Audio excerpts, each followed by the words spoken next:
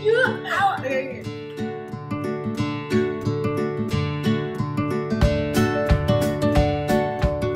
Hi, my name is Nivita. I'm from E 1E3. Hi, my name is Dave and I'm from 41. Hi, I'm David. I'm Femi. I'm from 34.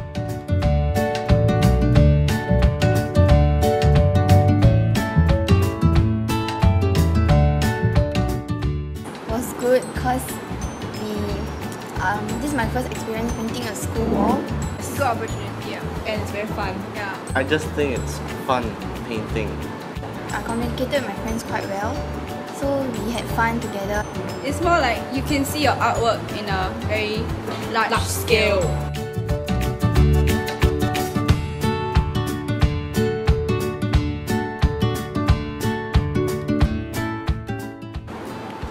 That there's something called painter's tape. Painting takes uh, patience, Perseverance.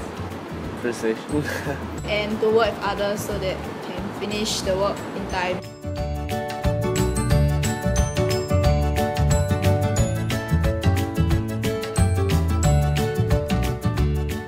Challenge the process and champion your passion. So if you have a passion for art, you should just go for it.